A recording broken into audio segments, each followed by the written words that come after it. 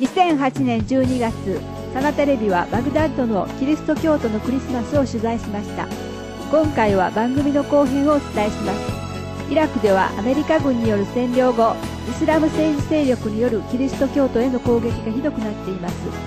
IFC サナテレビはこのインタビューによって宗教や宗派の違いによる差別や迫害のない平等な社会の実現を訴えます。メリークリスマス。どうもありがとうございます。クリスマスの願いは何ですかイラクに平和が訪れることと、愛するイラクにみんな帰ってきて生活することです。キリスト生誕のこの素晴らしい日に、誰もが互いに家族を支え合い、どの階層にも違いがなくなってほしいです。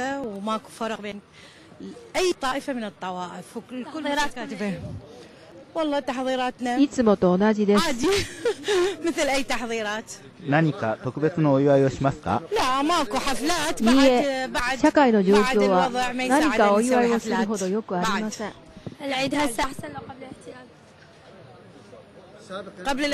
もちろん占領前ですよ。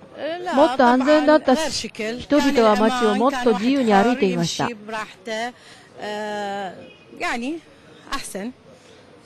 メリークリスマス。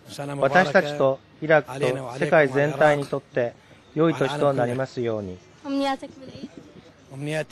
イラクに平和と安全が戻ることです。そして息子たちが皆家に帰ってほしいです。イラク人の心が喜びと幸福と愛で満たされてほしいです。それが私の願いです。宗派の紙幣の攻撃で被害を受けましたか？ありがたいことに攻撃は受けませんでした。神の加護と保護のもとで私たちはムスリムの兄弟たちと幸せに暮らしています。その通りです。兄弟が難民となって脅迫を受けていましたので、今年は少し悲しいです。占領前の方が状況は良かったですし、もっとクリスマスを祝っていました。